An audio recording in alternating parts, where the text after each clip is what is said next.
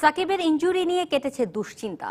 দুই তিন দিন আগের মধ্যেই ম্যাচ খেলার মতো শতভাগ ফিট হয়ে উঠবেন টাইগারদের অন্যতম ভরসা। এরই মধ্যে বোলিং শুরু করেছেন মাহমুদুল্লাহ রিয়াদ, পেস অলরাউন্ডার সাইফুদ্দিনও। এখন অনেকটাই সুস্থ। বিশ্বকাপের আগে ইনজুরি আক্রান্তদের উন্নতিতে সন্তুষ্ট টিম ম্যানেজমেন্ট। ট্রাইনেশনে স্বাগতিক আয়ারল্যান্ডের বিপক্ষে সাইড স্ট্রেনের চোট পেয়ে মাঠ ছেড়েছিলেন সাকিব।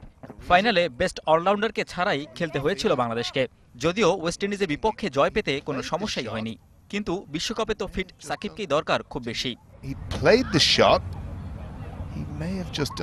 আর তাই সাকিবের উপর কড়া দৃষ্টি ম্যানেজমেন্টের। এরই মধ্যে জিম রানিং করছেন নিয়মিত ব্যাট হাতেও চলছে অনুশীলন। তবে ম্যাচ খেলার মতো ফিট হতে সময় লাগবে আরও দুই তিন দিন।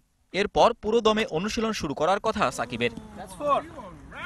হালকা চোট আছে সাইফুদ্দিনেরও।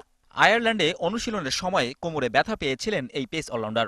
ফাইনাল খেললেও পুরোপুরি ফিট হতে পাঁচ দিনের পর্যবেক্ষণে আছেন সাইফুদ্দিন। ক্যাপ্টেন মাশরাফির কাছে বোলিং অপশন আরও বাড়ছে।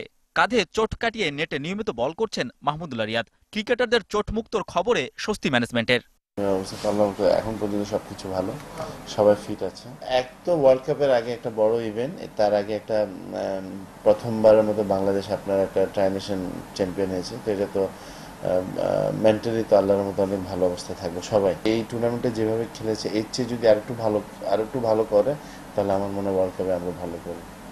বুধবার থেকে শুরু টাইগারদের চার দিনের কন্ডিশনিং ক্যাম্প বৃহস্পতিবার দলের সঙ্গে যোগ দেবেন ছুটিতে থাকা মাশরাফি ও তামিম। এরই মধ্যে সব ক্রিকেটার সুস্থ হয়ে উঠলে পুরোদমে অনুশীলনে নামবে team tigers. Mahmudur Rahman, DBC news, Dhaka.